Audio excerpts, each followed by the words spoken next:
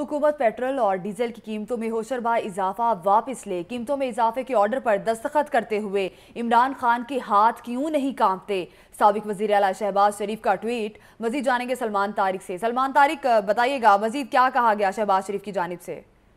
جی petroleum مصنوعات اضافے کے حوالے سے جو جو قومی اسمبلی میں اپوزیشن لیڈر ہے شہباز شریف، ان کی جانب سے مطالبہ کیا گیا ہے کہ جی پیٹرولیم مصنوعات کی قیمتوں میں اضافہ واپس لیا جائے۔ انہوں نے کہا کہ حکومت پیٹرول اور ڈیزل کی قیمتوں میں وہ شعبہ اضافہ واپس لے اور مہنگائی کی سونامی نے پاکستان عوام، پاکستانی عوام کا جینا مشکل کر دیا ہے۔